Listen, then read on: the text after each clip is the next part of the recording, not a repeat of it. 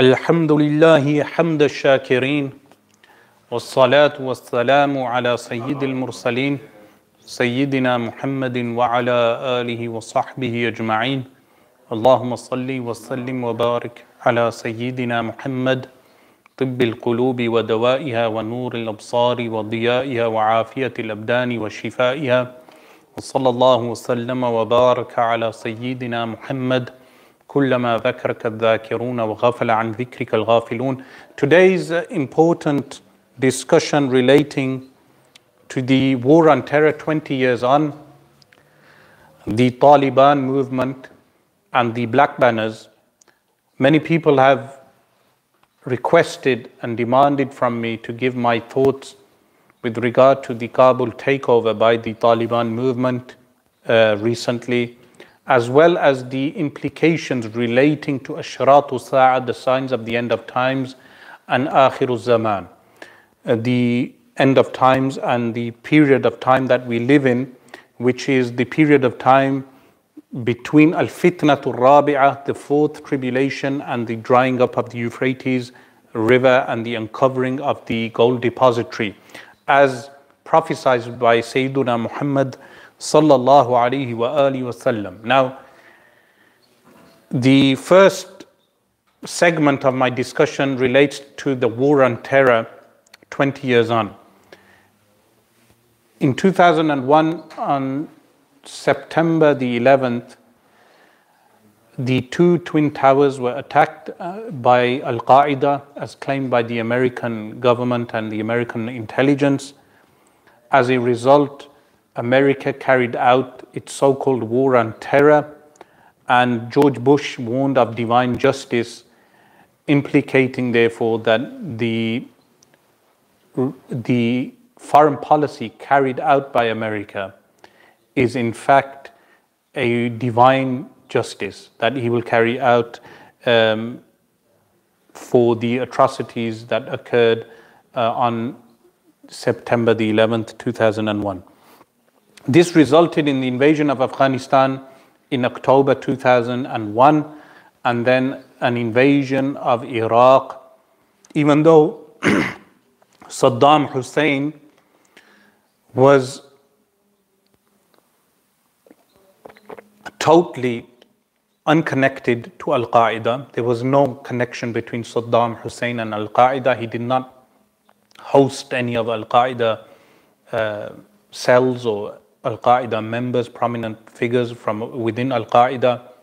In fact, I remember in 2001, when while performing Hajj, there was rumors on famous news channels like the CNN that Al Qaeda members will be attending the Hajj. So the the way today war is waged against an invisible enemy, which is COVID 19. In that time, war was being waged against alleged members of Al Qaeda uh, dispersed throughout the Muslim world. So the claim was even made that Al Qaeda members have infiltrated the Hajj, therefore giving um, justification for any foreign policy relating to intrusion within uh, the Hajj or anything else, even though Saudi Arabia, most of the uh, people who carried out the 9 11 attacks were Saudi citizens, no action was taken against Saudi Arabia. Action was taken against Afghanistan at the time, which happened to be ruled by Taliban. And Taliban at the time, I remember uh, the spokesman for Taliban stating that we are willing to give over uh, Osama bin Laden with a few conditions that he be trialed on, uh, in an international court, words to that effect. Nevertheless, Afghanistan was invaded, and America exporting its mm, democracy, its form of democracy, uh, under the guise of women's rights and giving rights to women, uh, made alliances with unsavory characters like Dostum. Dostum, who is known for his uh, human rights abuses, war crimes, making ditches, and then placing his enemies within the ditches and then smacking hammers over their heads and killing them, or placing people in containers until they die of exhaustion and overheating.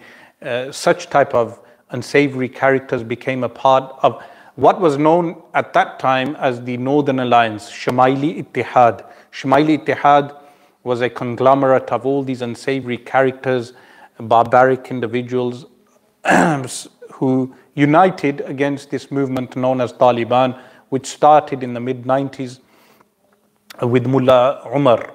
Now, Mullah Umar was the founder of Taliban, but we know Taliban was supported by Pakistan and the ISI, and for good reason too, to protect the borders of Pakistan from any type of infiltration uh, from foreign aggression or exploitation of uh, raw Indian intelligence or any um, meddling in the area at the hands of the Indian intelligence.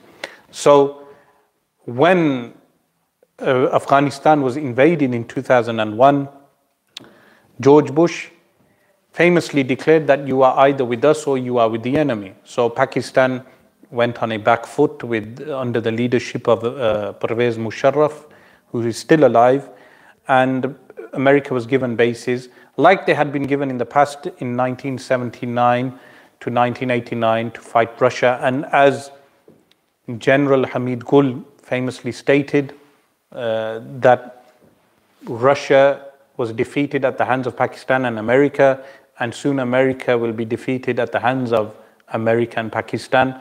Whatever the statement was, nevertheless, history has uh, unfolded and unpackaged these realities that today America has left Afghanistan.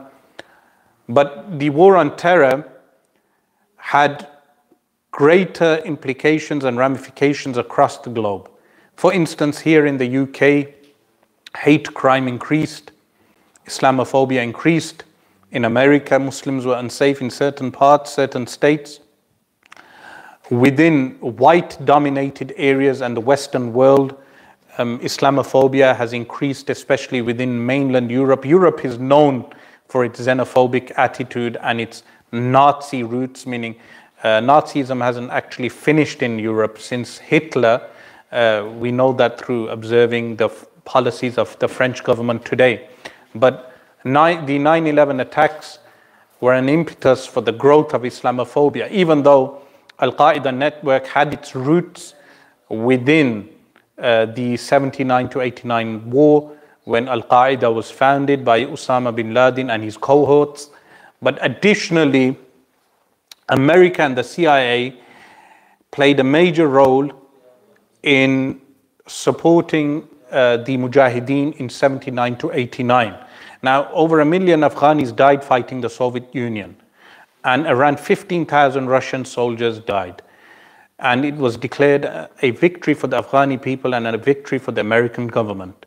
And America left uh, Afghanistan and Pakistan uh, victorious, but then they entered the same area that they had left, uh, in fact, abandoned from 1989. So they abandoned the area for around 12 years, allowed various groups to fester within Afghanistan after leaving weaponry. They had such they had given the CIA had given anti-aircraft missiles to the Mujahideen. They had left so many weapons in that region that the warring factions were fighting one another until the rise of the Taliban in the mid 90s. And even the critics of Taliban will admit that they did restore some segment, uh, uh, a modicum of law and order within Afghanistan during their five year rule from uh, 96 when they conquered Kabul up to 2001. So the war on terror in 2001 uh, continued for 20 years. Uh, America established its bases in Helmand, the Helmand province, and the famous bombardments of the Tora Bora mountains fighting uh, these tribesmen. And the Taliban kept its base within the Pashtun rural areas. So the, the base and the foundation of the Taliban is the Pashtun clans, uh, mainly uh, the Gilji clan, I think, and the rural areas in within southern Afghanistan, especially, and the, the tribal people who, uh, some of them who are nomadic in their lifestyle, and this helped uh, in the proliferation of the Taliban around Afghanistan. While the Americans, after they invaded uh, Afghanistan, they uh, placed uh, their own government led by Karzai. And Karzai was the man for the American government. Karzai himself, uh, being Durrani, born in Kandahar, he was a Durrani, and the Durranis traditionally were the most educated from the Afghan, Afghani people. So, the, he, while the clans that the Taliban belonged to, in terms of Western education, are not as uh, westernized or as Western educated as the Durrani people. So Karzai represented a specific class of Afghani people. And remember, Afghanis are not limited to Pashtuns, they have numerous ethnic groups within Afghanistan. So the invasion of Afghanistan was simultaneous to the invasion of Iraq in 2003. Now, Iraq, the invasion of Iraq was much more brutal, even though the invasion of Afghanistan was brutal in the sense that there was bloodshed. I remember reports when they, the invasion, after the invasion, the Northern Alliance claimed to have killed over 10,000 Taliban fighters. And at the time, they were even removing gold teeth from the dead. So they would break and smash the teeth of dead people to remove the gold from their teeth. There was, there was an incident and a report within mainstream media where a Northern Alliance soldier, Shumaili Ittihad soldier, claimed that he will kiss the Quran, place the Quran in his pocket, and then shoot the uh, Taliban prisoner. So there was this type of brutal behavior at the time. Shumaili Ittihad carried out its revenge attacks against the Taliban movement, and the Taliban were removed from power. And everyone had thought at the time when Mullah Umar uh, fled, the way the leadership of uh, Kabul has fled recently, Mullah Umar left Kandahar on a motorbike with one more individual. Later, he passed away. They some say he went to Quetta, and then others say he passed away in a Karachi hospital. Of course, there was collusion of ISI with Taliban leadership. So as I stated, the Iraqi invasion was much more brutal. In Iraq, you had uh, the resistance fighters within uh, Fallujah, for instance. War weapons that had never been used were used in Fallujah, and in Fallujah, chemicals were used and dropped upon the civilian population as well as the fighters in Fallujah. Fallujah fighters, people from Syria, boarded buses in 2003. I was in Syria at the time in early 2003, and I remember buses of Syrians left from Damascus to go to Iraq to fight jihad, crossing the border from Syria into Iraq. And these were all Sunni Muslims. They were entering Iraq to fight jihad. Even the students from Ma'hadul Fath al Islami, many of them went over. So the Ma'had Al-Fath al-Islami, many of the young students of knowledge, they went over into Iraq to fight jihad against the Americans and the, uh, the, uh, the allies, the American allies. And the air bombardment started in around March or April 2003. After which, America carried out many brutal attacks against civilian populations in Iraq. We know prior to the 2003 invasion, Madeleine Albright was questioned is uh, the sanctions, are the sanctions on Iraq worth the lives of half a million children? And she responded in the positive that it is worth the lives of over half a million children. Famous, um, ignorant statement uh, uttered by Madeleine Albright at the time. Now, Iraq had suffered from the sanctions in, in the 19, early 1990s also, even though the civilian population uh, was the, the main uh, segment that suffered from those sanctions. Saddam Hussein and his uh, Bitana, his, the, the people around him, his group, they did not suffer from those uh, sanctions as much as the civilian population. And many children died of starvation and malnutrition. But then, after the 2003 invasion, the number of orphans uh, went into the millions within uh, Iraq. So Iraq still suffers from the after effects of the 2003 invasion and the formation of groups like uh, Jabhatul Nusra or the ISIS, uh, is the so-called Islamic State in Iraq and Syria, which is known as Daesh. Some people they say we refuse to call them ISIS, but Daesh is uh, is still uh, the acronym for the same thing, Dawlatul Islam fil Iraq wa Sham. So Daesh and ISIS mean the same thing.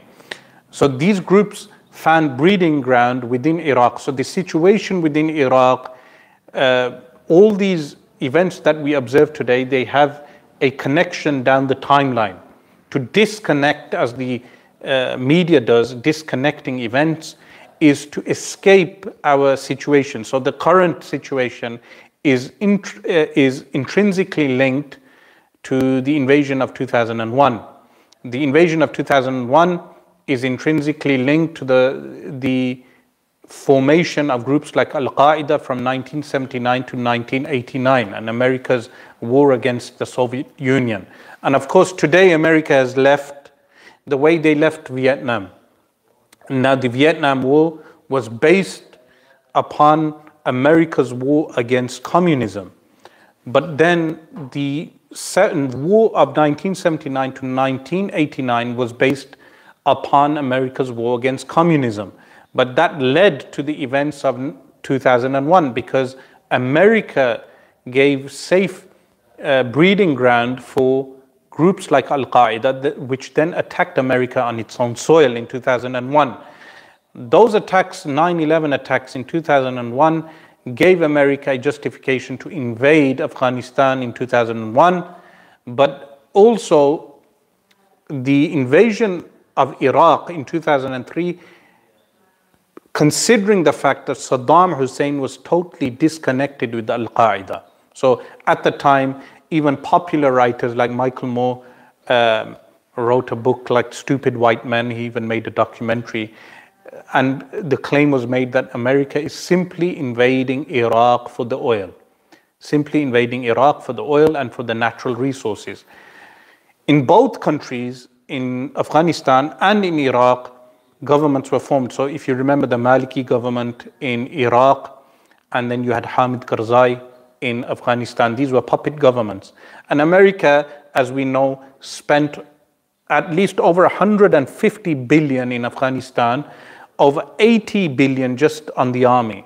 So this army that uh, finished and disappeared, dissipated within a short period of time, over 80 billion was spent, uh, 80 billion American dollars on the training and equipping the Afghan army, the current Afghan army, as well as spending millions on Iraq, uh, billions on Iraq, and the, uh, propping up a puppet government in Iraq. And now America has abandoned both countries. So, with regard to the Taliban itself, uh, the people are asking as to whether the Taliban represents the black banners. This I will go on to into the third segment of my response with regard to uh, the Taliban, but with regard to the Taliban itself. Firstly, we have to understand the formation of such groups within a post war Afghanistan. And also, Afghanistan prior to 1979 was a country still developing. They even established uh, water dams in Afghanistan at the time, prior to 1979. Strangely enough, uh, the dams were made by American companies. Those dams were later misused to grow poppies, even though the, uh, the government prior to the communist regime did not intend the dams to grow poppies. The dams were obviously formed for farming and cultivation and betterment of the country. After the 1979 invasion and Pakistan colluding with America and Saudi Arabia within the northern areas, at that time known as the Northwest Frontier, uh, because Pakistan, even at that time, not even giving the, the state a, a name now it's known as Khyber Pakhtun, but at the time it was just simply known as the Northwest Frontier Province. which is the, the colonial British name for that region, because the area is populated by Pashtun tribes and uh, the uh, northern tribes, the tribal people, as well as the city urban Pashtuns in Peshawar and other cities. But in this area of Northwest Frontier province, fighters, foreign fighters were brought in from Saudi Arabia, from Egypt, and some of them belonged to the Ikhwan al Muslimin, some of them belonged to the Al Harakat Salafiyah, the Salafi movement, um, the likes of a Sheikh Abdullah Azzam, All these people, they entered in that region, they were trained, uh, and the CIA colluded with the ISI in training these people in order to fight the Soviet invasion and the Soviet aggressor. Whatever people's thoughts may be with regard to General Zia and his policies and the training of such groups, uh, as well as enrolling the orphans that were coming in from Afghanistan into the madaris, various Deobandi madaris in that region in the northwest frontier. You had the Haqqani madrasa, which is well known, the madrasa of um, uh, Maulana Samiul Haq, who's passed away. His madrasa had big enrollment of these students who became known as Taliban. And Taliban, many Arabs ask, how can, what does this word Taliban mean? Because in Arabic, Taliban, Talibani is two students. So they don't understand uh, that in Farsi, when you make a plural, you add alif and noon. So Talib becomes Taliban. So Taliban is in fact a plural of students.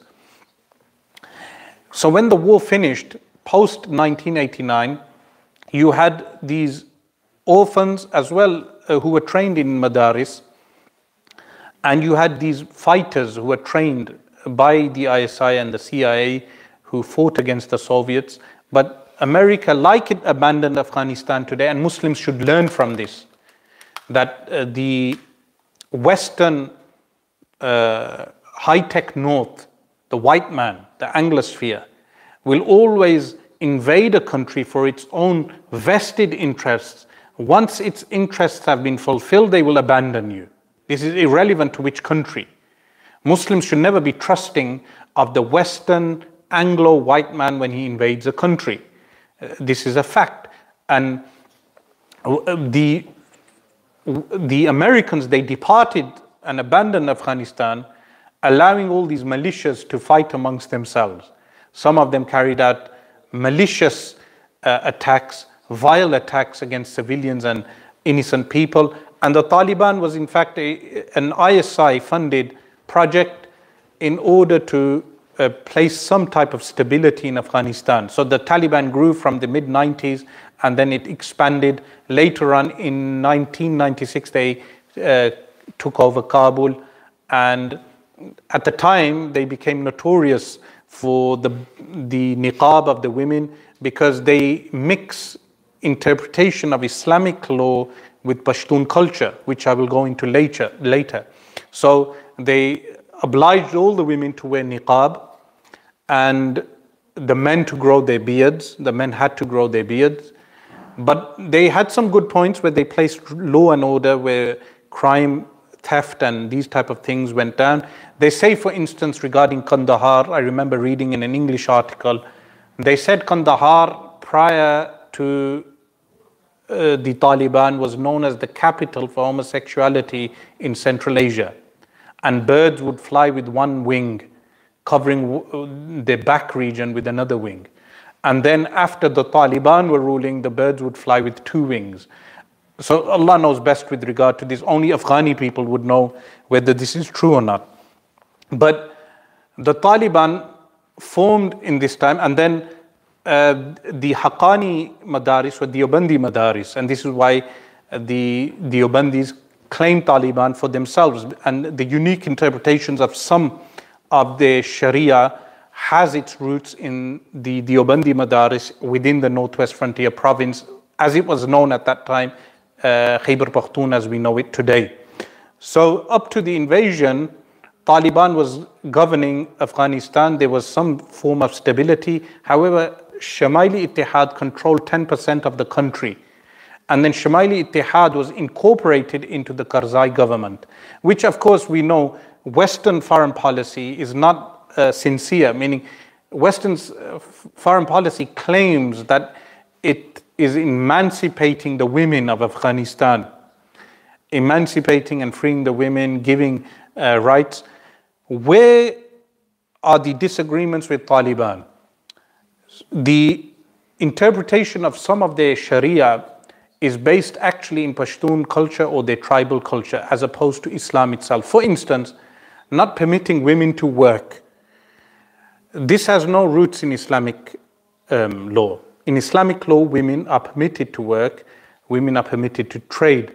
In fact, Sayyidina Umar radiallahu an had a woman in charge of the marketplace. So when Sayyidina Umar radiallahu an was Khalifa, a woman was in charge of the marketplace in Al Madinatul Munawwara. Additionally, in the Hanafi school, the burqa is not wajib in our Hanafi school. So now Taliban have declared Hanafi fiqh the official jurisprudence of Afghanistan. But in Hanafi fiqh, the burqa, the face veil, is not wajib. It is only wajib if there is a possibility or a near certainty of fitna of tribulation. Additionally, uh, beating people with wires uh, on the roads, if this is correctly ascribed to Taliban, this is all incorrect according to Sharia law because there is a due process in Sharia law for any punishments to be carried out. In fact, uh, striking someone is known as ta'zir in Islamic law. Ta'zir is only the right of the ruler. And in our Hanafi school, the ruler only has 10 strikes. The ruler only has 10 maximum strikes. According to other schools, there are an increase of strikes, but even those strikes are limited to utilizing a stick which is thin as the small finger with no nettles, no sharp points, and as big as the forearm. And the person who strikes cannot lift his arm enough that a book will fall out from underneath his armpit. And even to carry out this strike, the ruler uh, will uh, do it himself or he will, the due process of a qadi will take place.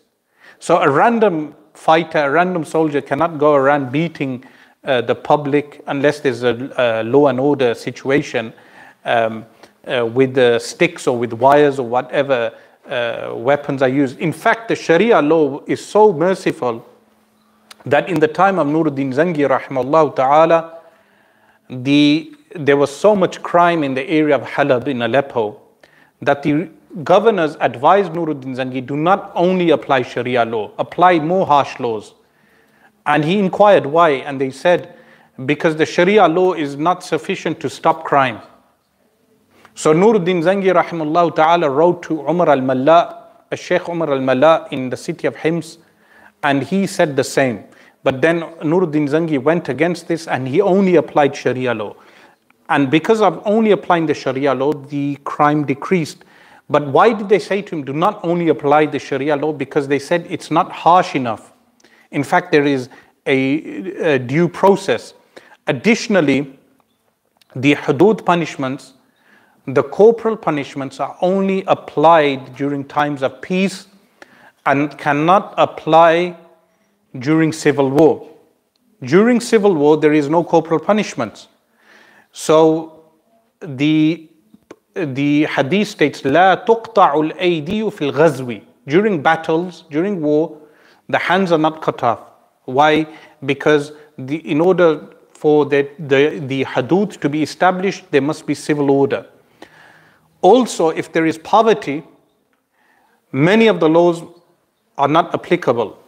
So, if the women are not allowed to work and they are not receiving uh, sufficient wealth from the government and they are found stealing, how can the Sharia law apply on them? The Sharia law is not, the had is not applied upon them.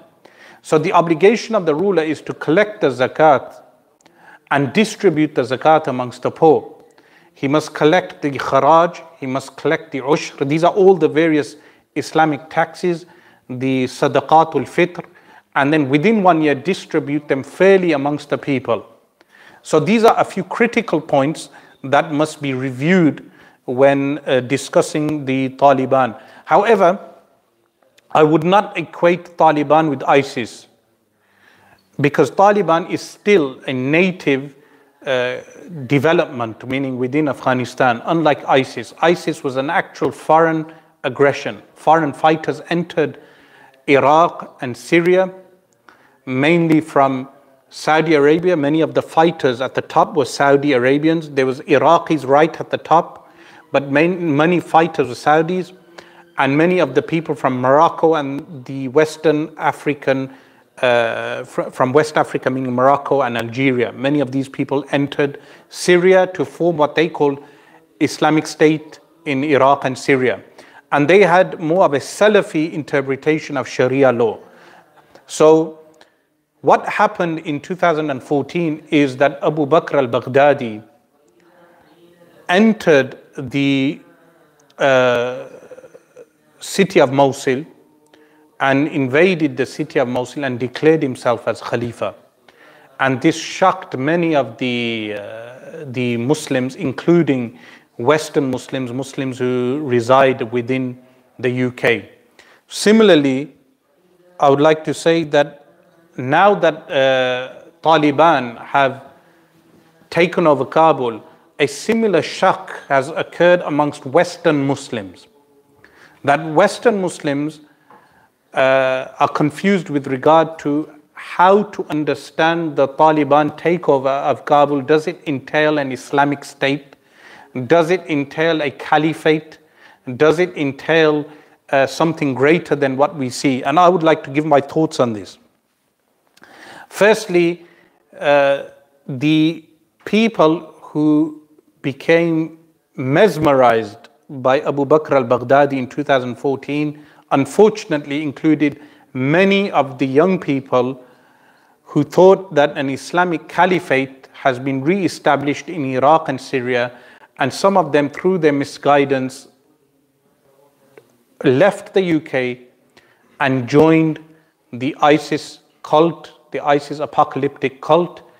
And today we know seven years later that many of them were killed, and they even left young children abandoned in Syria that are now left in refugee camps. So those young children are in refugee camps, and many of them are stateless. They have no state to live in.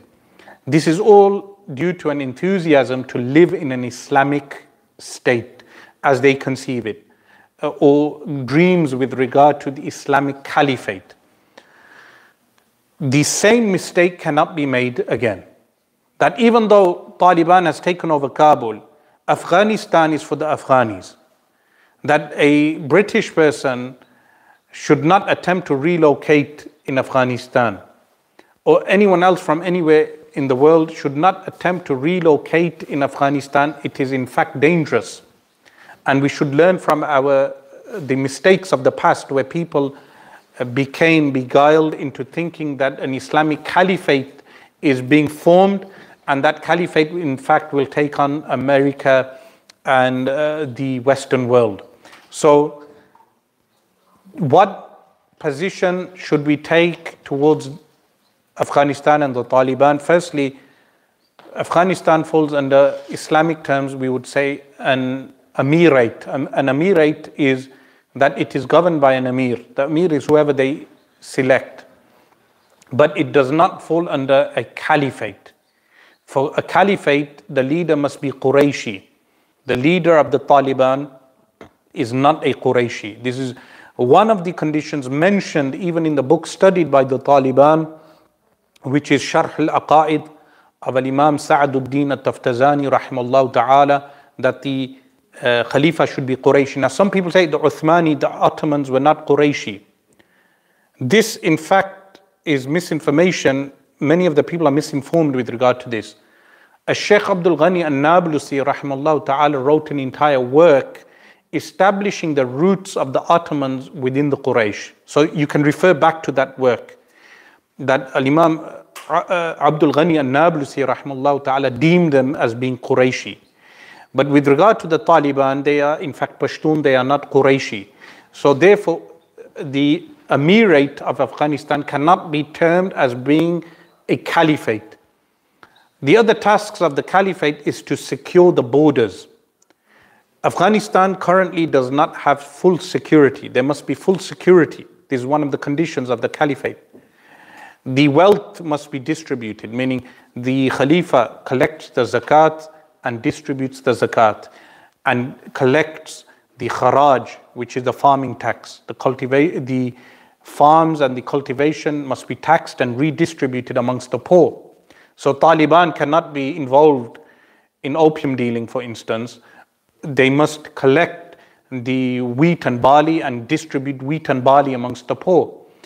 There are other conditions for the hudud, the corporal punishments to apply this, the country must be in total peace for good courts to be established. Additionally, some of the interpretations of Sharia law are incorrect within uh, the old Taliban at least, which included not permitting women to work. And I am not saying this as an apologist for the feminist movements. The feminists and the Western groups have their own agenda. With regard to Islam, there is no prohibition of women leaving the house within the confines of their own city. There is no prohibition of women driving. There is no prohibition of women carrying out their daily work. With, uh, the only prohibition that there is is traveling out of the city uh, without a mahram, but that is not enforced by a government. That is an obliga- individual obligation on the woman to comply with between her and Allah. It is not necessary for the government to interfere in, with this regard. So there are certain things that need to be revised within the Taliban, that they need to revise certain interpretations relating to the hukuk al-mar'a, which are rights of women, or interpretations of how they apply hudud or economic policies, as well as the other tribal issues within Afghanistan, which Afghani viewers will understand better than myself. But for the broader Muslims, and especially those, for instance, people in Pakistan who are pro Taliban. I would like to say if you are pro Taliban in Afghanistan, then you should have a Taliban in Pakistan also. Why do I say this? Because in Pakistan you have lawlessness, crimes of a despicable, a despicable nature occurring in Pakistan. That if you want to impose a Taliban government in Afghanistan upon the Afghani people, then you should be happy for the corporal punishments to be established in Pakistan. Nevertheless, I would say that the Taliban rule is beneficial for Pakistan. Why? Because it does protect aggression from the northern border in terms of India and its RAW agents that enter from Afghanistan and Indian or India vested interests within that region.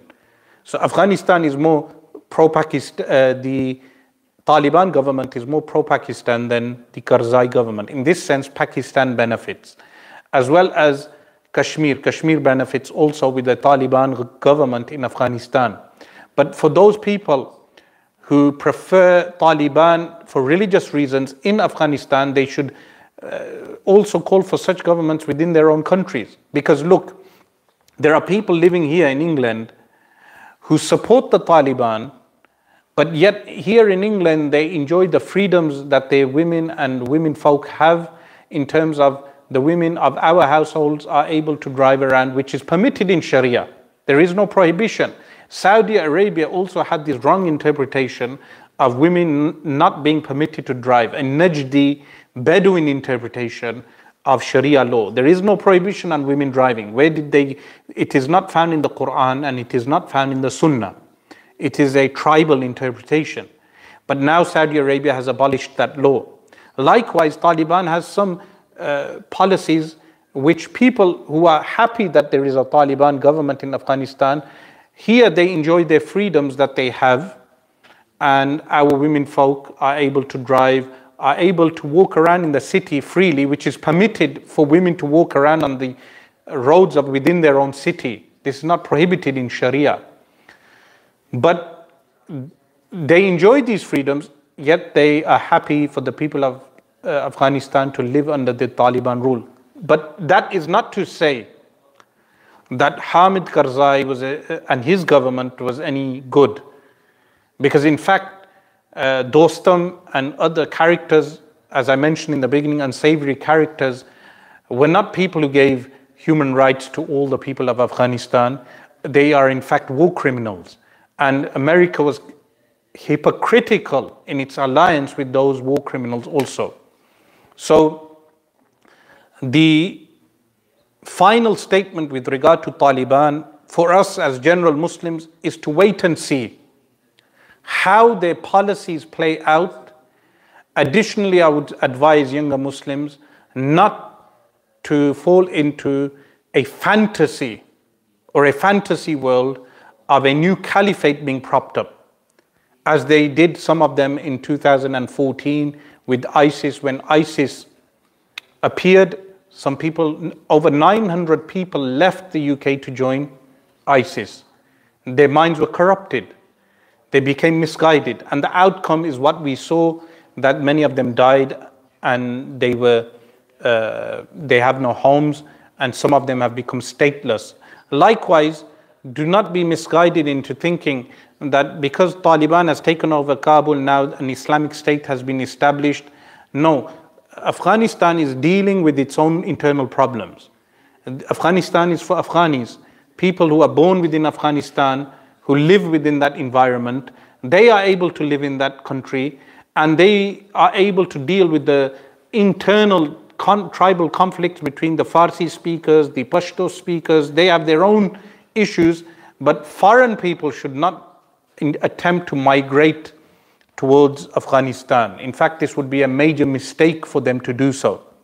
I would also like to state that some people they feel guilty there are some Muslims within the UK and other places, they feel guilty for living here within the UK because they see the suffering in Afghanistan, they see the suffering in Kashmir, they see the suffering in Palestine, they see the suffering, and they feel implicitly uh, responsible for the suffering that occurs all the way in the East. So some of them then want to join such groups and be recruited into such groups or migrate to those lands. So, what is the legal ruling uh, with regard to these things? Firstly, it's not an obligation to migrate in the current world situation. Because even if you migrate to Makkah al Mukarramah, I'm saying it's not an obligation. Even if you migrate to Makkah al Mukarramah, the ruler, Muhammad bin Salman, his father is Salman, but uh, is the ruler, but Muhammad bin Salman, the prince, has more authority than many of the governors and princes within that country. Many of his policies are un Islamic. And people are being imprisoned for their Islam even within Saudi Arabia, what is known as Saudi Arabia. The only country named after a family. Even the original name of uh, Saudi Arabia is Arabia, not Saudi Arabia. And within Afghanistan, people still face imprisonment. There are many war crimes and human rights abuses that occur. You, if you migrate to Syria, whether it's Idlib, which is controlled by the rebels, or whether you migrate to Damascus, which is ruled by Bashar al Assad, you are endangering yourself. Where, even if you move to stable Pakistan, a British person, many British people will find it very difficult to settle in a country like Pakistan also. But having said this, people should not feel this guilt that the suffering that is occurring in the East, they are responsible for implicitly. Hijrah is not an obligation unless your religion is endangered in the sense that you cannot perform the salah, you cannot carry out the sha'airul Islam, the hallmarks of the religion, the headscarf is banned, the recitation of the Quran is banned, then you migrate. But in Britain today, we do not have any of that. In fact, we have freedom to practice our religion, and we should thank Allah subhanahu wa ta'ala that we have this, and we should not become like the Yahud, the Jews, when they migrate, when they roamed uh, in the desert, they were given food, they were given the best food, al-mannu wa salwa, they were given honey and partridge, good food, and they still wanted uh, cucumber and lentils and onions. Here we have freedom to practice all our religion. We say so many things, we are not arrested. So now I'm delivering a lecture with freedom to say what Islam states with regard to our current situation, and we do not face any interrogation or any discrimination for freedom of speech. But so many of these uh, nation states, so many of these nation states, they are controlled by dictators. That if you say something, you are arrested.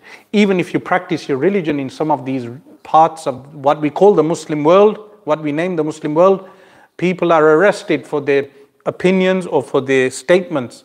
So do not wish for people uh, a regime or a totalitarianism that you will not wish for yourself, that you cannot uh, live under yourself. So with Taliban, we would say, legally speaking, it's an emirate, uh, legally Islamically, it's an emirate governed by a group known as Taliban who claim that they will govern the country with Hanafi fiqh. Time will unfold the reality of this group. Time will tell the reality of this group, whether they will administer the country with justice, spreading justice amongst all the tribes and the warring factions, and whether they will apply Islamic law correctly, and time will unfold the reality as to whether they are true to their Islam. But for us as Muslims, uh, meaning across the globe, uh, and especially as British Muslims, are we obliged to migrate there? The answer is no. In fact, you are endangering, endangering yourself, placing yourself in danger, and your families in danger. Lastly, the most common question which people have asked is with regard to the black banners. They have said, Is Taliban the group of the black banners? Now, I will give the answer that I have given and I gave when ISIS uh, came about. At that time, many people were traumatized, they were confused. They didn't know where to place ISIS in terms of its position in the Akhir Zaman and, and in eschatology. The simple answer is that the group that shall be the group of the black banners will only be the group that will place those black flags in Jerusalem. The hadith states that the Rayat Sud, the black flags, they will appear in Khurasan. Khurasan is in Afghanistan and Iran. In eastern Iran, and western Afghanistan, you have the region of Khurasan. From that region, a small group will appear. The Taliban fighters number over 200,000 according to uh, latest uh, statistics. But a small group will appear from Khurasan. And the hadith states, لا يردهم شيء. Nothing will be able to, dive, to stop them. And they will reach hatta tunsaba bi Ilya. That they will carry on marching from Khurasan until the flags will be placed in Ilya. Ilya is Jerusalem, one of the many names for Jerusalem. Jerusalem has over 17 names. So the flags will be placed in Ilya. That is the group of the black banners.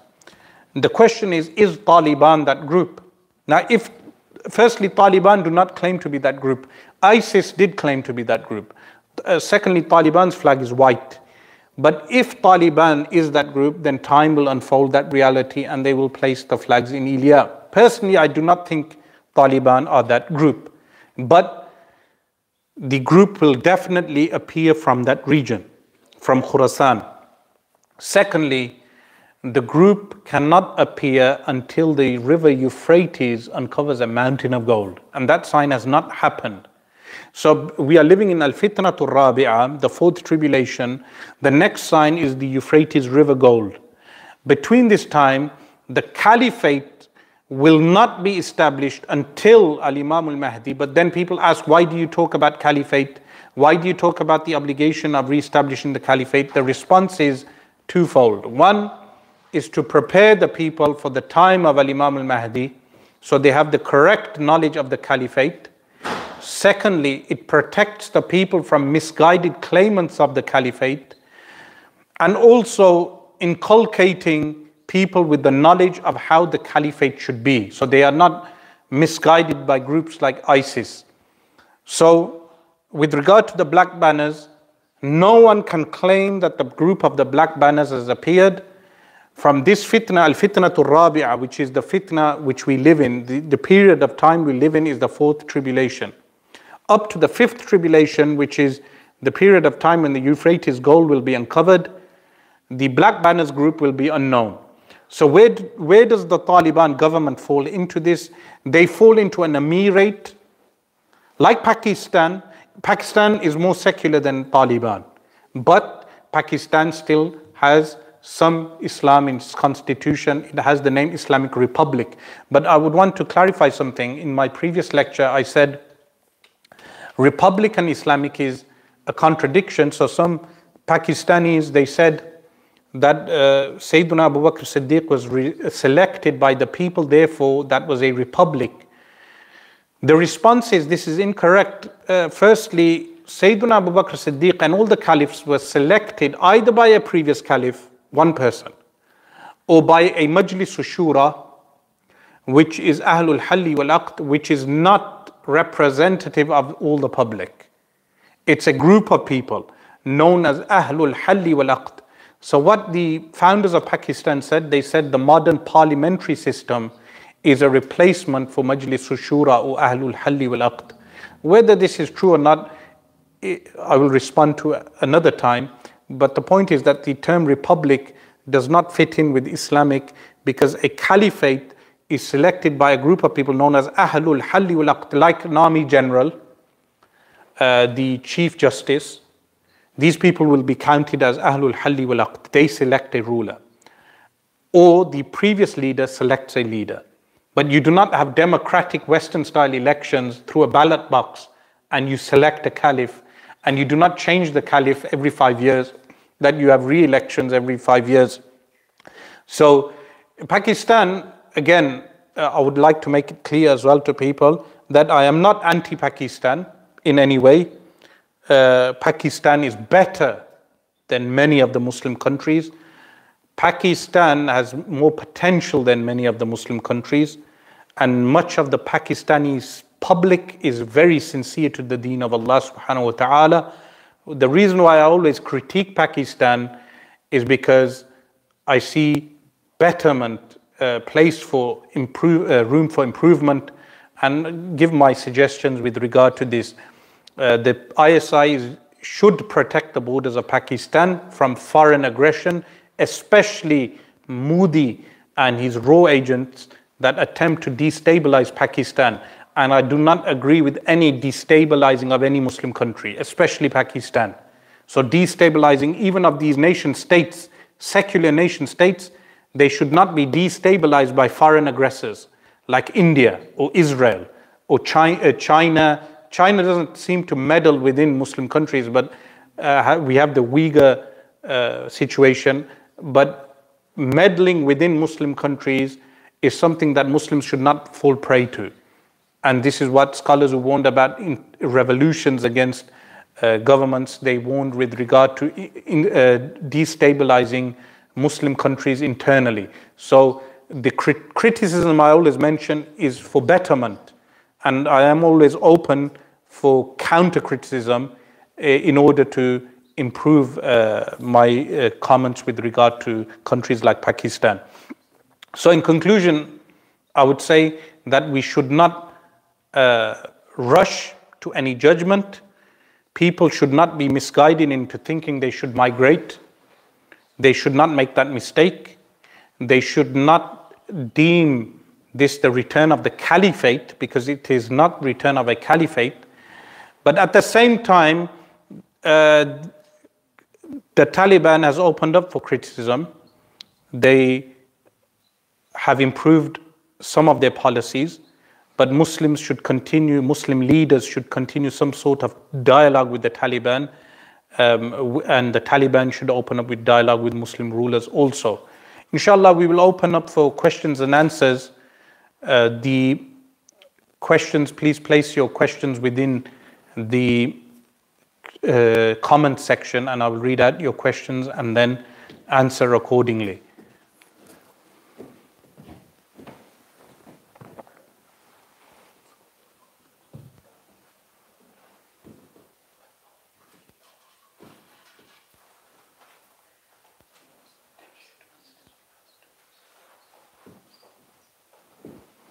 So uh, one brother has asked to defeat two superpowers with very little is something in itself, of course, requires faith and yes, of course, but we must not forget that firstly, the Afghani people were supported by Pakistan and was supported by the CIA from 79 to 89. One million Afghanis died in that war, and that's not a small number. And for Taliban to have defeated America now, it took 20 years. And remember, the Vietnam War, uh, the, uh, the Viet Cong also defeated America. So if someone is saying the defeat of America is in fact uh, alluding to divine support or alluding to them being the group of the black banners, this is incorrect. But at the same time, America being kicked out, uh, the uh, imperial powers that governed that region, or not governed, uh, invaded that region, being kicked out, is uh, an immense uh, achievement by Taliban and those who fought them.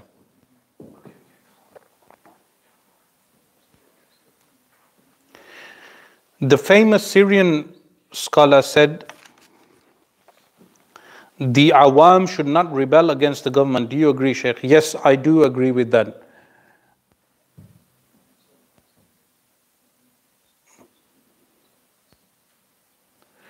A question Who do you think the real target was?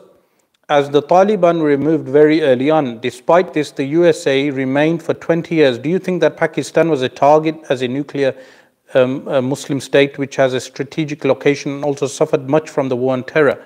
Of course, even though I disagree with Pervez Musharraf and his policies, uh, Pakistan has always been a thorn in the side of India and America and Israel. So, of course, there is um, there is a ploy to remove Pakistan to finish off Pakistan as it stands today.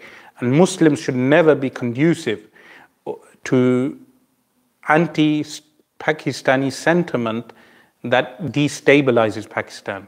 So criticism of Pakistan does not entail uh, destabilizing the country or any other Muslim country. And I would say this with regard to majority of Muslim countries.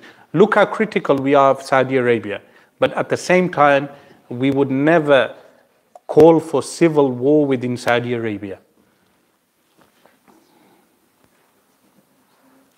Someone asked, how long does tribulation periods last on average? Uh, the correct response is that we do not know, that the tribulation periods can last for decades. So this tribulation period will last until the uncovering of the depository of gold. Are Taliban Sunni or Deobandi? Firstly, the Haqqani uh, segment within the Taliban is Deobandi. The, Haqqani group has big influence within the Taliban.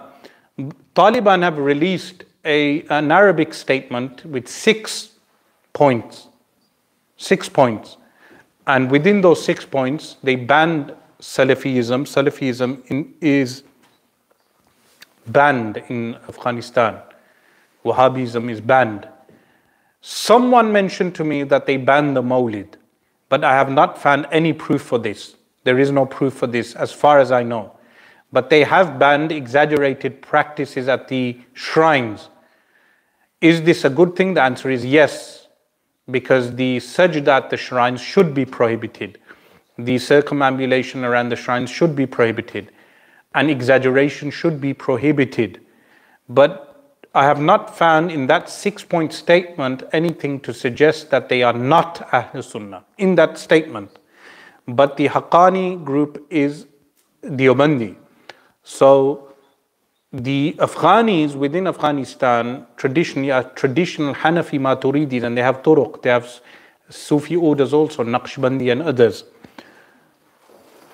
But if you mean, are they Sunni in the sense that some of our Punjabi and Indian people want them to have their particular type of Sunni brand, meaning, for instance, wearing orange or uh, doing uh, qawali or these type of things, that is not necessarily a Sunni thing. Or if uh, people mean, uh, do they have their own uh, similar type of Sunni practices as they do in certain parts of India or certain parts of Pakistan? That's incorrect. They are Afghani. So, but they claim to be Hanafi Maturidi. Uh, and they have banned also the Panjpir group, which is, as I am told, is the group that is the Mamati Deobandis. They have banned them.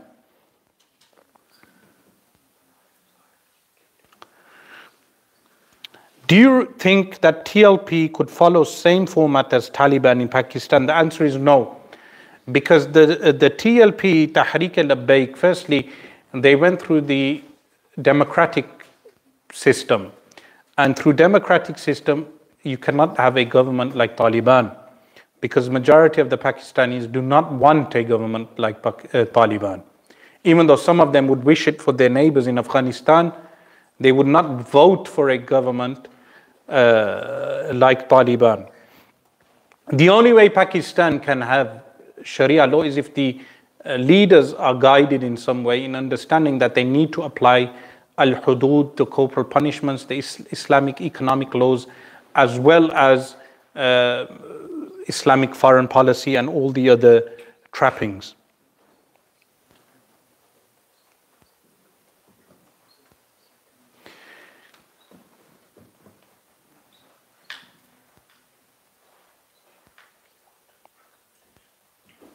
What is the difference between Pakistani and Afghani Taliban? The Afghani Taliban is supported by Pakistan and ISI, while the what is referred to as the Pakistani Taliban, Tahrik Taliban, is in fact an aggressor towards Pakistan and has no link with the Afghani Taliban. They are two uh, distinct entities mutually exclusive entities.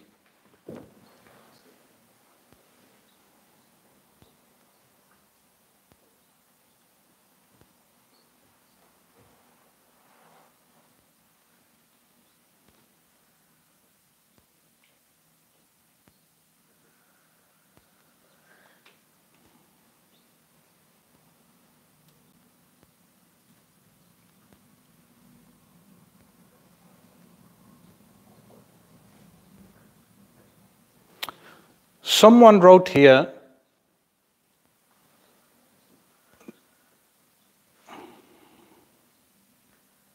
that sometimes you, so this questioner,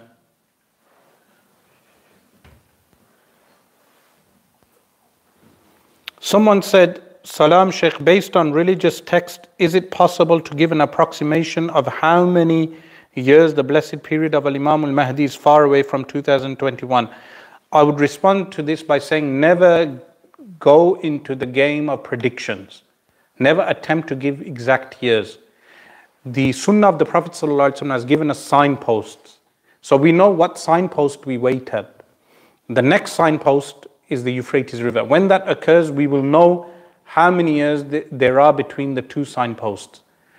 Anyone who reads the ahadith and the ashratu sa'ah knows the correct order they will know that we follow the signpost. And anyone who gives you exact dates, they always turn out to be wrong.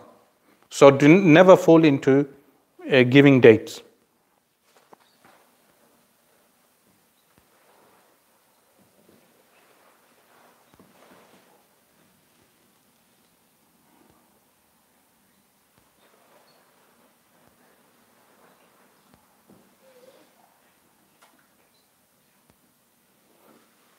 What role will Pakistan play at the end of times, and is the Pakistani army? The response is that uh, the Pakistani army has not been mentioned in any hadith. So the world, when Al Imam al Mahdi anhu appears, uh, the Khurasan, the army from Khurasan is mentioned. And this group is mentioned as being formed so quickly that they will be formed like the cloud on a winter's day, meaning very quickly. So the group does not exist currently. They will exist after, after the Euphrates gold sign. And then they will march from Khorasan to Jerusalem and conquer Jerusalem. As for Ghazwatul Hind, Ghazwatul Hind will occur after this, when Al Imam al Mahdi radiallahu an will deploy troops to India. And when they are deployed, they will invade India. So, uh, what role the Pakistani army has in this uh, is not mentioned in any of the hadith of the Messenger of Allah sallallahu alaihi wasallam. There are many questions coming in, so the questions are moving quick.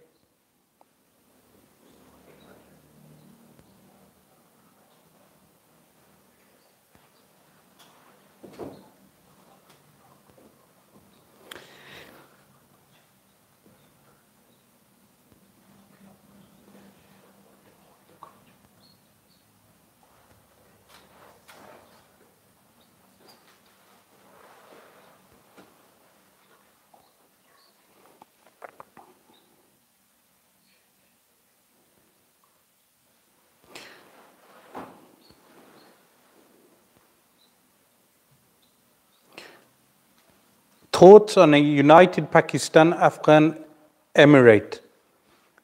Um, the response is this would have to happen by willingness on the part of Afghani leadership and Pakistani leadership as well as the public.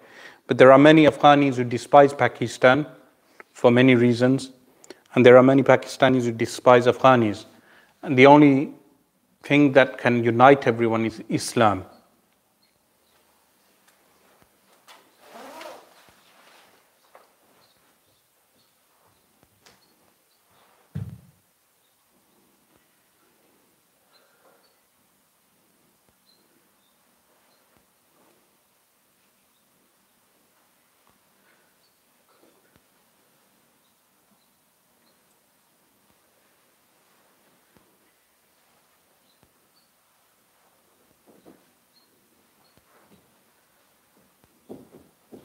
When Al Imam al Mahdi radiallahu anhu re-establishes the caliphate, should Muslims from Europe move back to the lands of the caliphate?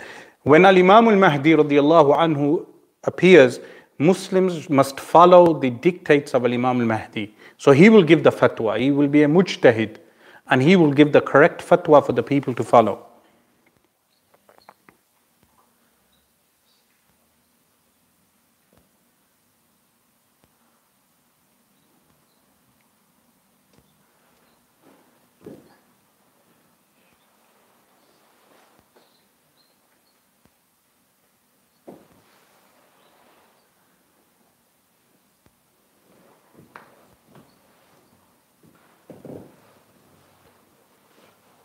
Someone asked, can we do Isalu Thawab for Ahlul Bayt, the blessed martyrdom of Karbala by keeping fast? Yes, this is permitted.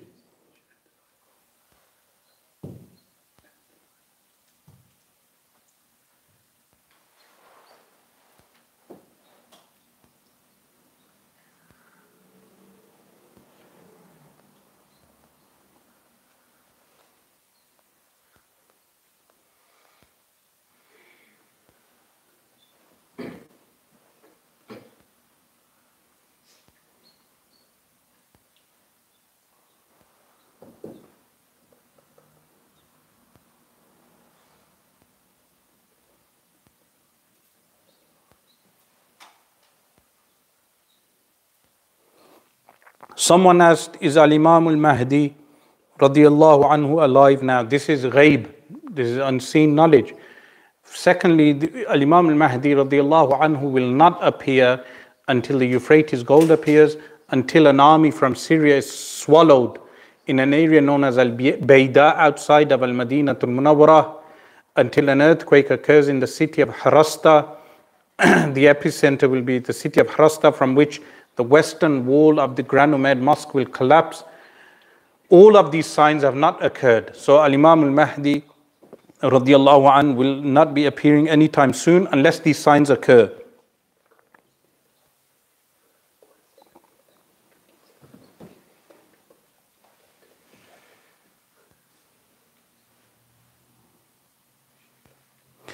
Sheikh, do, don't you think it's, it is suspect how quickly Afghanistan fell to the Taliban. Is this pre planned by the West or an experiment for a future invasion? Uh, firstly, uh, the war has been continuing for 20 years. So, a 20, sustaining a 20 year war and spending over 150 billion on the so called Afghani government, the puppet government, is not sustainable even for the Americans.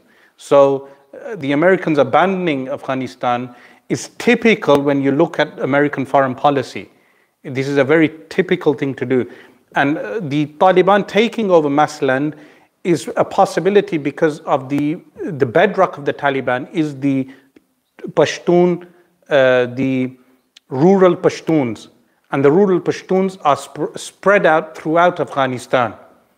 And this is the first time of uh, Taliban have incorporated all the tribes. This is the first time. Previously, they were mainly Pashtun, but now they have incorporated all the various types of Afghanis.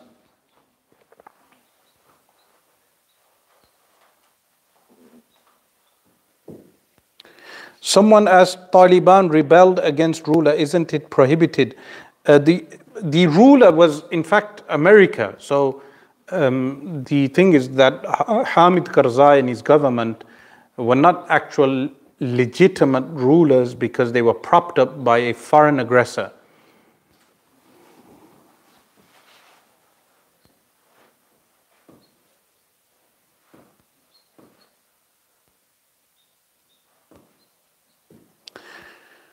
What's your opinion on the Naqshbandi Khalidi movement in Turkey, uh, Mahmoud Effendi?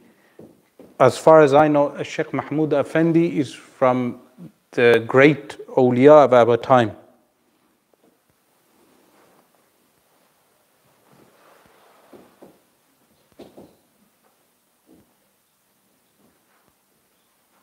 Someone asked, should we believe in Taliban? The answer is أيها الإخوة do not believe in any group do not believe in these groups just look at the Islamic ruling and what they do. So young people should not be joining groups. I do not advocate for young people to join groups. The only uh, Ahl Sunnati wal Jama'ah is the people of the four madhabs the Asha'ira and the Maturidis, and we look at the Islamic ruling of what the groups do. So whether it's Ikhwan al-Muslimin or any other group, we judge them in accordance with the Quran, the Sunnah, and the fiqh rulings of the four madhahib. Do not join any group because you do not know what the leadership does.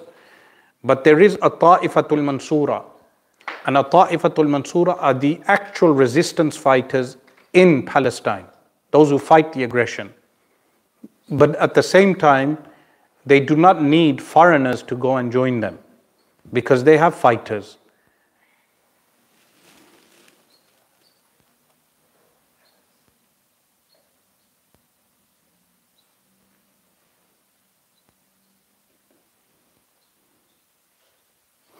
Would currency with intrinsic value start again in Afghanistan? This, of course, depends on the Afghanis, the Taliban leadership. Are they astute enough to implement? Are they able to implement intrinsic valued uh, currency, which Pakistan, in fact, should lead the way by ins- uh, reinstating the Chandi rupee?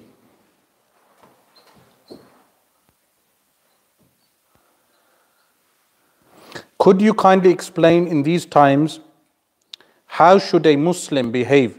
Is it better to stay quiet on politics? And how should uh, one invite people to good amal in these times when people are re- really when people are really tough? Uh, the political muslims are those who are part of a group. The apolitical muslim is the one who judges events in accordance with the quran sunnah and the four madhabs so the ulama should speak on political events but enlightening people with regard to political events in accordance with the Quran, the Sunnah, and the ahkam, the legal rulings within the four schools.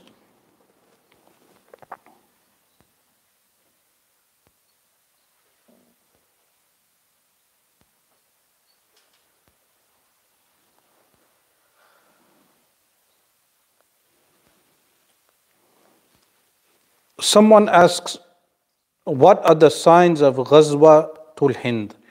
Uh, firstly, the Ghazwatul Hind will only occur after Al Imam al Mahdi anhu appears.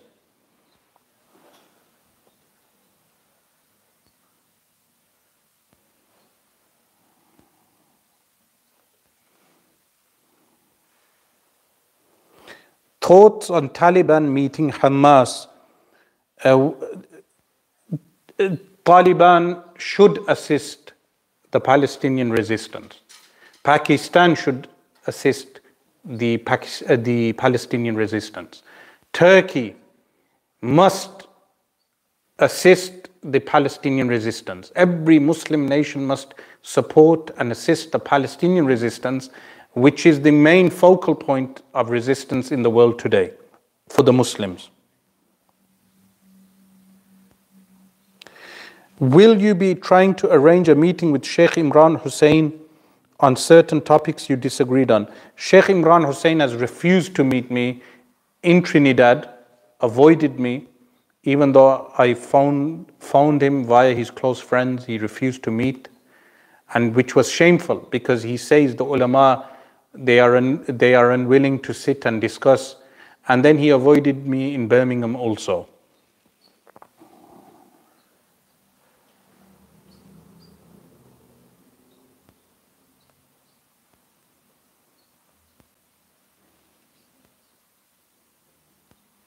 The Salafis claim the Khurasan hadith is fabricated and weak. Is this true?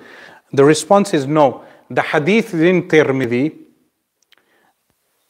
Al Imam Tirmidhi says the hadith is gharib, but the hadith is not weak. You can check the chain. It's also in the Sunan of Ibn Majah and it's found in other works of hadith. It's not a fabricated, a weak hadith.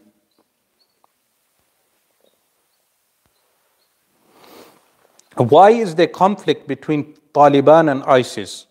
The response is they are not uh, the same.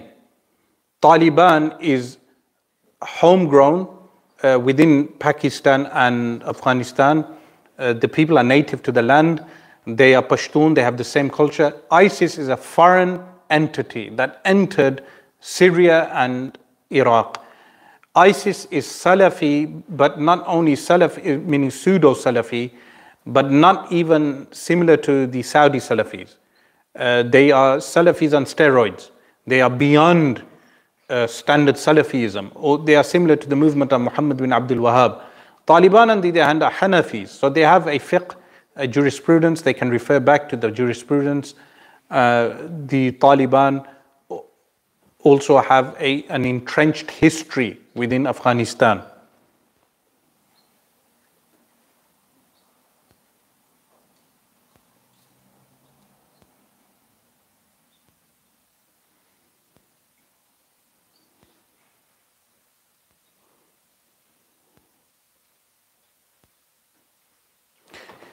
Is the ummah of the Prophet sallallahu alaihi wasallam 1500 years? The person is referring to the research of Imam Jalaluddin Suyuti rahimahullah ta'ala which states that the ummah will not go beyond 1500 years.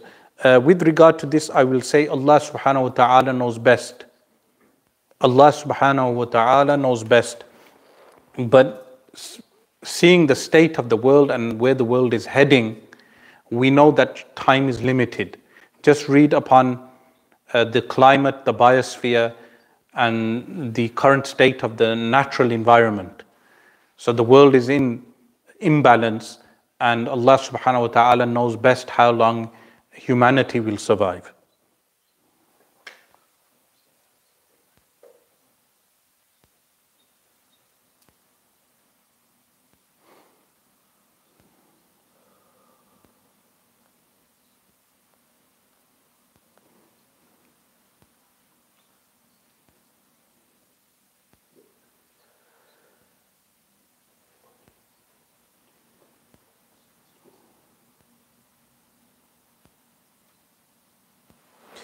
A brother asks, I just read the peace treaty, State Department uh, of Afghan Islamic Emirate, and it is very strange and unexpected. Please help, brother, as I trust Taliban. Uh, remember, you never know what the leadership of any group does behind the scenes. So, as Muslims, we judge events in accordance with the Quran, Sunnah, and the Ahkam, the legal status of anything. Do not align yourself with one group or one leader at this day and in this day and age. It's a dangerous age. Uh, you cannot place your trust in any one individual. Follow the Quran, the Sunnah, and the Ahkam according to the four Sunni schools. So Taliban as an entity is not ma'asum, free from sin, free from mistakes. A person should not blindly trust Taliban or any other group. And this applies to all the groups across the board. Uh, by groups, I mean organizations. There are some sayings from Al Imam al Qurtubi that Al Imam al Mahdi will emerge from the west, in fact, from the furthest west, fil Aqsa al Maghrib. Could this be true? The answer is no, um, because Al Maghrib also refers to Ahlul Sham. And Al Maghrib al Aqsa is also a name for Asham. Some say because they would drink from uh, a container known as Gharb, so they're known as Ahlul Maghrib. This has been covered by ulama in the books of Ashratu Sa'ah. So Al Imam al Mahdi an will not appear from Morocco, without doubt. He will, he will be from Ahlul Hijaz, from the people of Al Madinatul Munawwara. Is Sayyiduna Isa alayhi salam a Sahabi as he saw the Prophet sallallahu alaihi wasallam on Laylatul Mi'raj? The answer is yes. He is a Nabi and a Sahabi.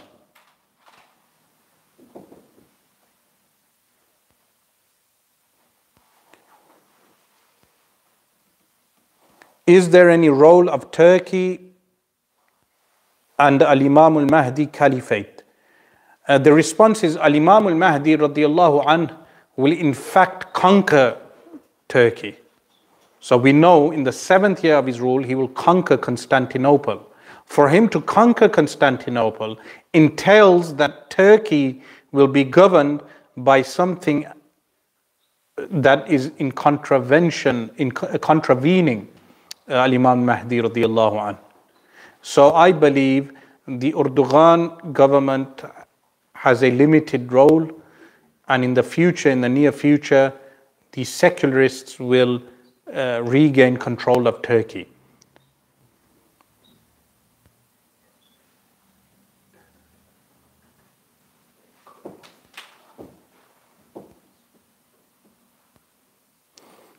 Is the Taliban group a sign of the last day? Uh, groups like Taliban have appeared in the past. If you read Islamic history, groups of rebels from time to time uh, conquered various regions or conquered small parts of the Muslim world and governed in accordance with Sharia law. But they were never deemed as the caliphate. So Taliban is one of those many movements. What will be the next sign happening before us? The next major sign is the drying of the Euphrates and the appearance of Euphrates gold. This is the one which will be a signpost. But prior to that, there will be Muslims or Muslims by name who will legalize homosexual marriage. And Allah subhanahu wa ta'ala will send down His punishment on them. The hadith mentions they will be punished by a rihul hamra, the red wing, the red wind Al-khasf wal-maskh. Al-khasf is landslides and al-maskh disfigurement. This sign will occur in the near future. There, there are many other signs like this that are yet to occur, but the major signpost is the drying of the Euphrates River. And with the imbalance of the biosphere, the world environment, the natural elements, we can see that that will occur very soon. Only Allah subhanahu wa ta'ala knows best whether it's within a decade within two decades, within five decades, only Allah knows best.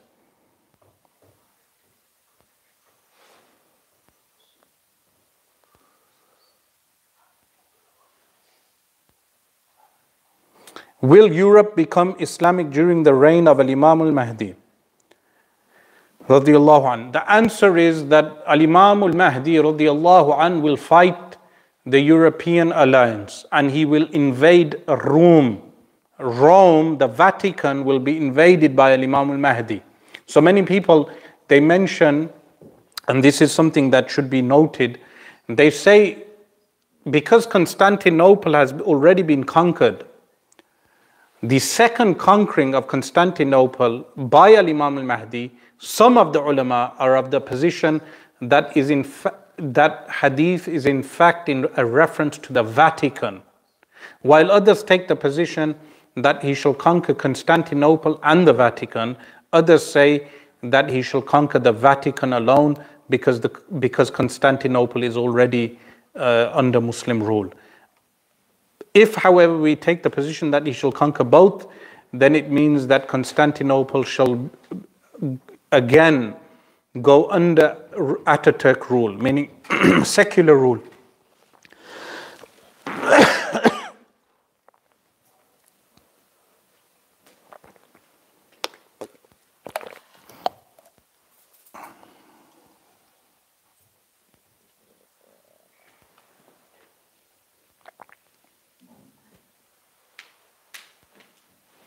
What will become of Africa and America in the time of Al Imam al Mahdi? Africa will remain silent. And the Messenger of Allah sallallahu alaihi wasallam mentioned in a hadith that Africa is never an aggressor and leave the Habash, the African people, as long as they leave you. This is because the African people are a peaceful nation, I mean the whole of the African continent. They this was told by the Messenger of Allah sallallahu alaihi wasallam, with the exception of Dhu as-Suwayqatain, who shall appear after the time of Isa salam. But Muslims will not, uh, will no longer exist on earth when he appears. As for America, it is mentioned in a hadith as a place known as Al-Qati'. Why is it known as Al-Qati'? This is mentioned by Al-Imam Muhammad bin Abdul Rasul al-Barzanji. Al-Qati' is a place that is cut off from the mainland and it has 500 entry points. Some say that this can refer to America. And Al Imam al Mahdi will wage war against Al Qati. Now, if Al Qati is America, then America will finish. America is on its way to finishing as a superpower as we speak.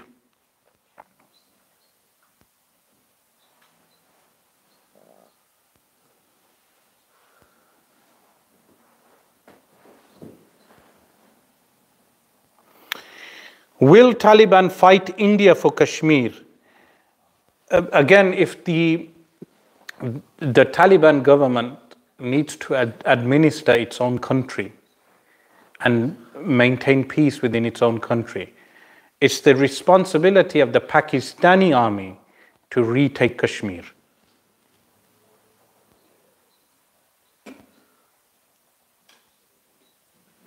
Liberal Muslims are parroting similar narratives to Western media. Some diaspora are also echoing similar thoughts. What would your message to them be? Uh, firstly, with regard to, there are facts and then there is uh, propag uh, propaganda. Uh, some of the facts relating to Taliban's misinterpretations of certain segments of Sharia law I have already mentioned. As far as propaganda is concerned, then the likes of Yvonne Ridley are more qualified to comment with regard to propaganda as she is a former journalist and was a prisoner of the Taliban. So she's the most qualified person to comment on this.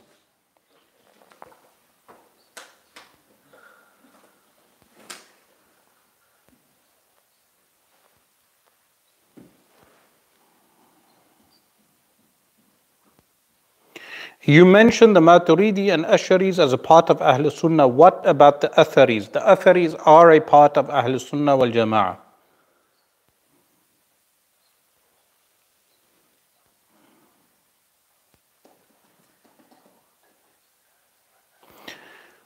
Where did the Prophet ﷺ warn about the Turks? That hadith is not about the current Turks. The current Turks are Muslims. That hadith is being misinterpreted by Saudi nationalists. That hadith is warning about the Mongol Turks, those who invaded Baghdad and Basra and Kufa. So the Arab nationalists are misquoting hadith that warn about Turks that is not in reference to modern Turkey or the Ottomans. It refers to the Mongol non Muslim Turks.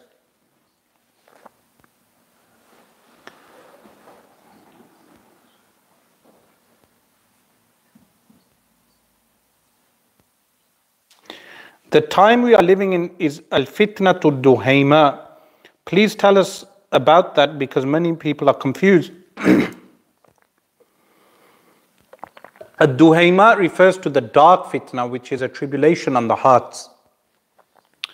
It also involves mindless killing.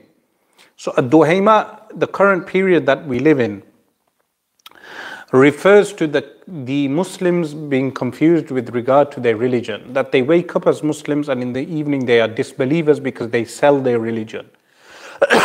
so, during this period of tribulation, it's imperative for us as Muslims to safeguard our iman and not to sell our religion.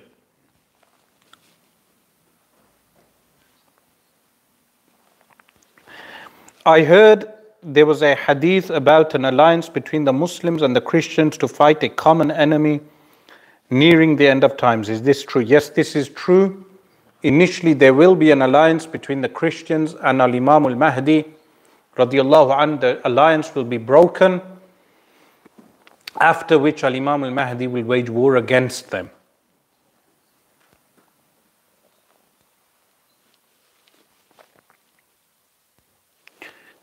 What is the Quburiya? The Quburiya is a name given to people who worship graves. So the Salafis, they apply this label upon anyone who visits a shrine. But the prohibited acts are prostrating to graves, circumambulation of graves, believing that the dead is able to help you other than Allah or without the will and might of Allah. This is shirk. So they, uh, they, those people are referred to as Quburiya, but the Salafi movement applied the term Quburiya, and every Muslim who visits a grave or believes in the permissibility of tawassul. What is your view of offensive jihad in our times? The offensive jihad is waged by the Khalifa or the ruler. The Amir has the, the sanctioning power, the power to sanction offensive jihad. Offensive jihad, which I refer to as preemptive jihad, is agreed upon by ijma, by consensus. So, what will the Afghanistan drama benefit Israel? They tend to strike when the world is distracted, like the po- poisonous snakes they are. Well, recently they entered the West Bank, killing five Palestinians. So that was not on the headlines because of the events in Afghanistan. Five Palestinians were killed by an Israeli uh, or a terrorist incursion into the West Bank, killing five people. They claimed that they went to arrest uh, people from Hamas. And yes, while the world is distracted, Israel will continue its plots.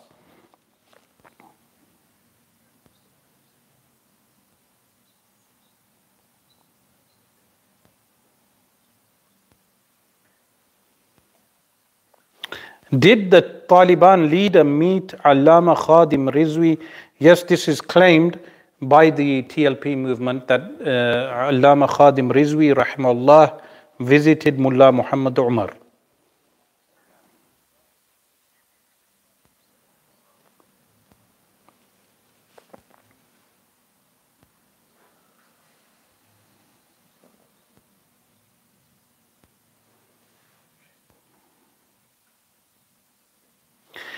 What's your opinion on the Kingdom of Morocco, seen as they have signed a peace deal with Israel? Traditionally, Morocco has been with the good. In fact, uh, Al Malik Al Hassan, the father of the current king, Al Malik Muhammad, was the one who recorded the Arab meeting of the Arab nations like Egypt and Syria. He recorded the meeting and gave the recording to Mossad.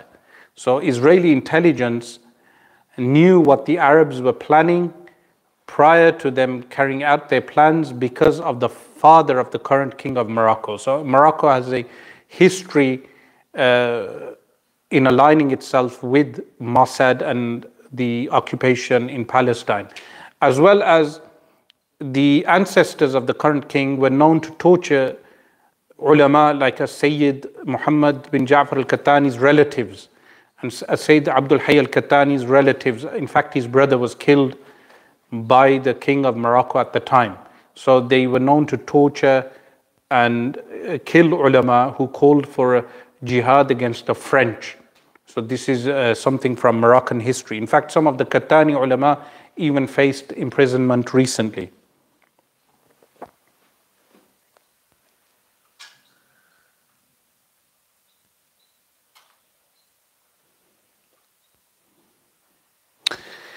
Uh, someone says that apparently the Taliban leader saw the Prophet ﷺ in a dream. Now, I would warn against such type of things because in 2001, when the Bush administration invaded Afghanistan, there were rumors amongst the people that the Messenger of Allah ﷺ was seen in a dream uh, riding towards Afghanistan, and when questioned, he said, I am going to defend my children in Afghanistan and a false rumor was spread that Osama bin Laden is Sayyid and uh, Mullah Umar is Sayyid, which is untrue.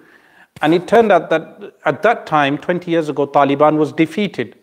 So I would warn people against dreams and uh, the proliferation of dreams, of stating dreams to justify something. In fact, we should always judge current politics with the Quran, the Sunnah, with the ahkam of the four madhahib as well as the aql, the intellect.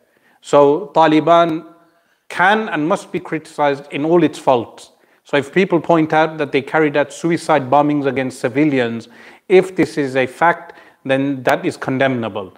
Likewise, any wrongdoing that the Taliban have done must be condemned. And similarly, for all the governments of the world, or all the groups. All governments and all groups today are not beyond criticism. So do not align yourself blindly to any one group or any one government. Have a critical mind and always judge things in accordance with the Quran, Sunnah. And I have to stress the four madhahib because the four madhahib have the correct interpretation of the Quran and the Sunnah. Because the Salafis would also, the pseudo Salafis, also claim to follow the Quran and the Sunnah, but they lack correct understanding of the Quran and the Sunnah because they do not follow one of the four Sunni schools. So, this blind fanaticism for any group is not approvable. Yes, Ahlul Sunnah wal Jama'ah has its tenets of faith listed in works like the Aqidah of Imam al-Tahawi rahimahullah. Those things are etched in stone for us as Sunnis. But aside from that, groups and organizations are not beyond criticism.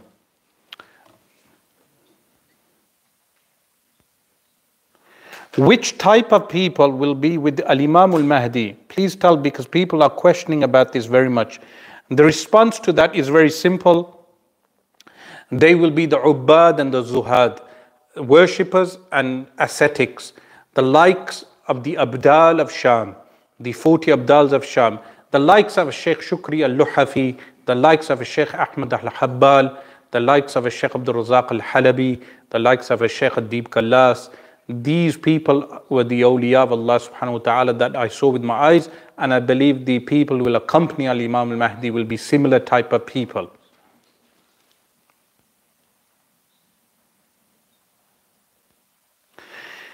What is your opinion on the hadith where the Prophet ﷺ mentioned he has left Quran and Sunnah and to follow, but a lot of sheikhs say it is actually Quran and Ahlul Bayt.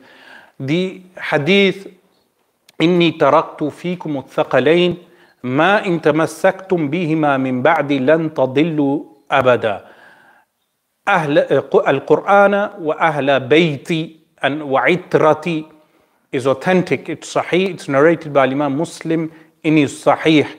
The Messenger of Allah sallallahu alaihi wasallam said, I left the Quran, the Ahlul Bayt, and Itrati, my progeny, and which is Al Imam Al Hasan wal Hussein radiallahu anhuma, who are the sources of guidance. We accept this hadith wholeheartedly because Sayyiduna Al Imam Ali and Sayyiduna Al Imam Al Hasan and Sayyiduna Al Imam al-Hussein and their offspring, imams from their offspring like uh, Sayyiduna Abdullah al-Mahad and Sayyiduna al-Imam al-Hasan uh, al-Muthanna and uh, uh, the, the progeny as you go down the lineage.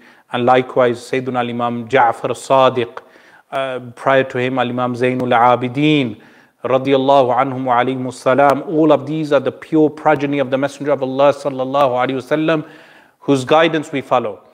Al-Imam Abu Hanifa rahimahullah said, Lawla sanatan lahalak al-Nu'man. If it were not for two years, Nu'man would have perished. These were the two years he spent with Al-Imam Ja'far al-Sadiq. So our Hanafi school is the school of the Ahlul Bayt. Because Al-Imam Abu Hanifa, you go check his chain, it goes back to Al Imam Ali radiallahu an. Likewise, his father, uh, the father of Al Imam Abu Hanifa rahimahullah, met Al Imam Ali radiallahu an, who supplicated for him. And Al Imam Abu Hanifa is the result of the supplication of Al Imam Ali radiallahu an. And this is why the majority of the Ummah is Hanafi. So Al Imam Abu Hanifa's school is representative of the school of Al Imam Ali and the Imams of the Ahlul Bayt.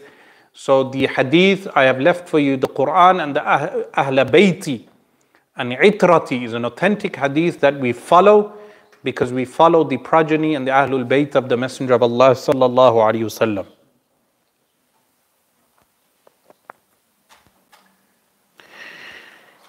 Someone says, even though the Taliban is a part of Ahl Sunnah wal Jama'ah, but on multiple occasions they attack various dargahs of Sufi masters. What is your opinion and explanation for this? Again, as I said, the Taliban uh, have links with the Haqqani Deobandis, uh, the Madrasa Haqqaniya. If they have actually attacked the shrines, this is wrong. And if they have banned the Mawlid and done any of these acts, this is totally wrong. And as I said, we do not blindly imitate any one single group. But the facts need to be verified. So many facts, I'm still verifying many facts. People should stay open minded. Any wrong they do, they should be criticized. Do not fall into blind fanaticism like people fell into with regard to ISIS.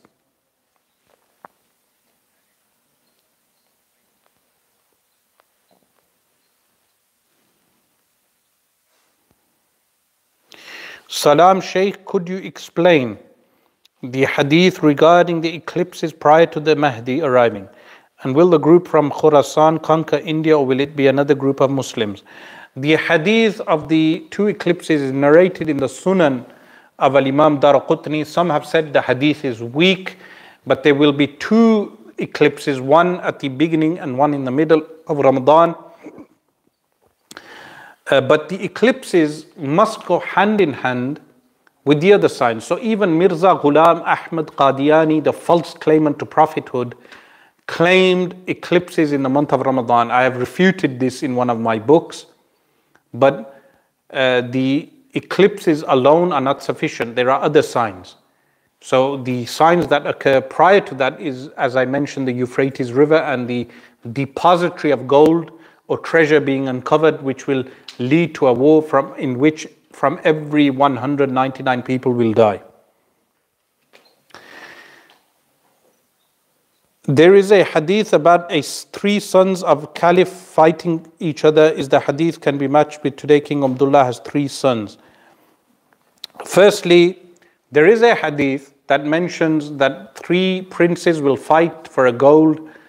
Uh, they will be the sons of a khalifa, which is uh, Khalifa here means a, a, a, representative. It doesn't mean the technical Khalifa.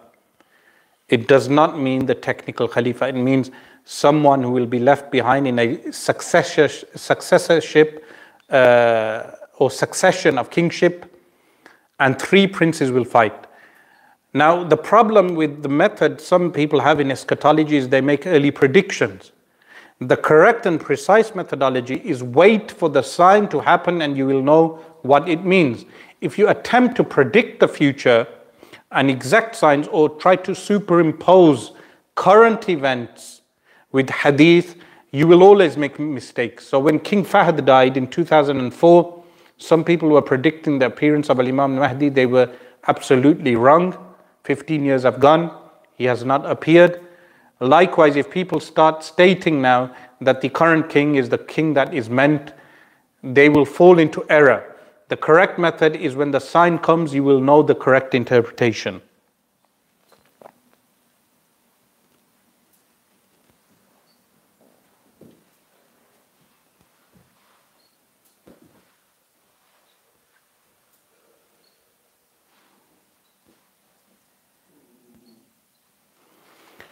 Why Taliban or similar groups or sheikhs do not promote progress, innovation, and modern technologies in the, in the Muslim world?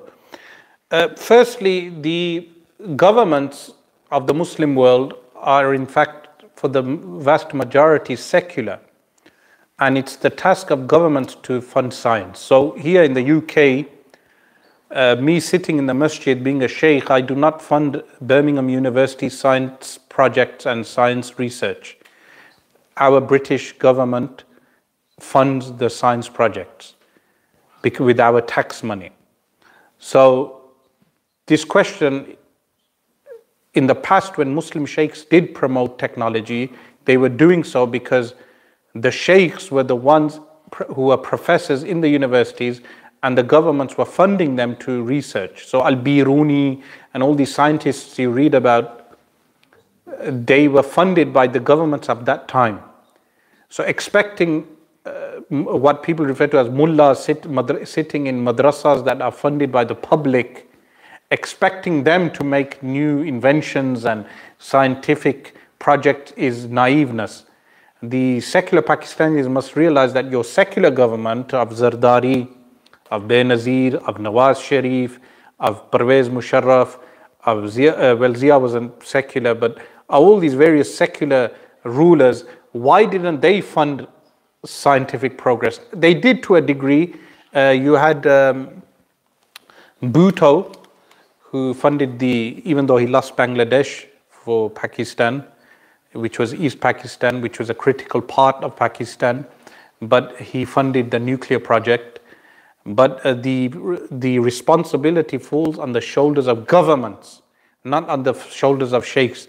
So the Taliban government, after stability, should fund scientific projects.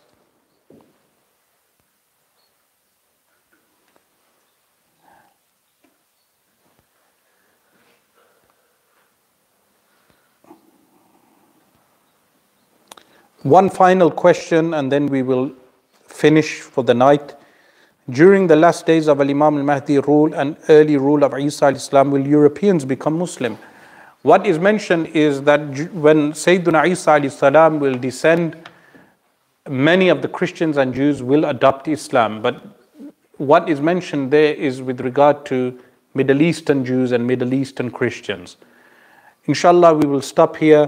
I ask Allah subhanahu wa ta'ala to make this a source of guidance.